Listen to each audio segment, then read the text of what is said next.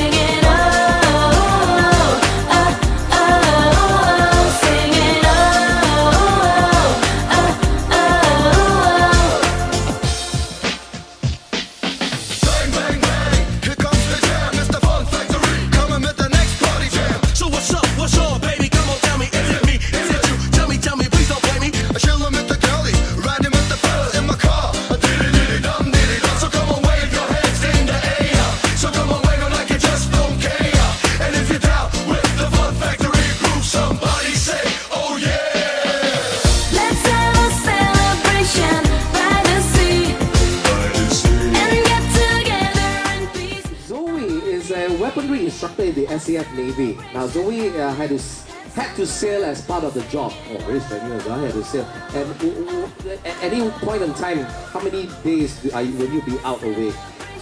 because I sail in a small ship, it's a patrol vessel. Usually when we go out, it's probably about two, three days per sailing. So one month you can sail up to seven to eight times. Wow. And when she had her first pregnancy, now she requested for a shore-based posting so she could look after a child uh, and continue working. Now, her employer, which in this case the Singapore Armed Forces, the SAF or the Navy, uh, was supportive and arranged for her to work regular hours in the office.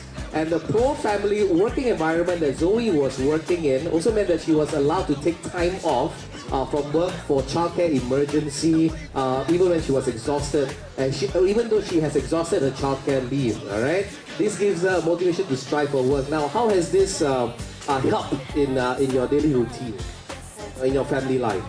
Uh, obviously, it uh, benefits me a lot because I have more quality time with my family. In return, uh, I can concentrate more on my work and um, um, do my best for the organization. Now, hubby here, uh, now you work in a, in a sales-related job and it gives you more time, flexible working hours. Um, is it a handful taking care of two kids without mommy being around?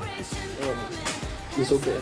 Have you had, ha- did you undergo special training before, you know, you embark on this adventurous journey? not exactly. But very good, very supportive uh, husband and a very supportive employer. and harmony.